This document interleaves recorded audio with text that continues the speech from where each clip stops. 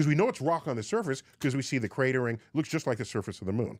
Okay. Right. So, but deep inside, what could be there? Now we know when it formed, heavy stuff goes to the middle Mm-hmm. because it's it's it's a fluid thing. It's molten. Right. If you're molten and you're heavy, you're going to It'll sink. Right. You're going to sink. Okay.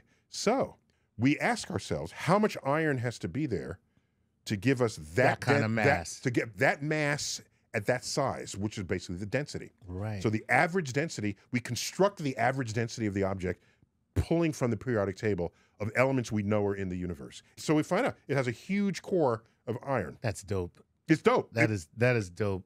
Okay. I'm t- God damn it. That is science right there, buddy. Oh, it, it- works the other way too. Really? We, we've discovered asteroids, okay, and we know they're rocky, but we look at the density, and it's like these are way less dense than rock. Rock, right.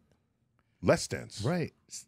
What's going on? Oh, that's so cool. What's going on? Because you see the, the volume of it, and it's a fuzzy image. You know, we're not Right. looking. These are not missions Yeah. that go there. It's not like we got binoculars. Right.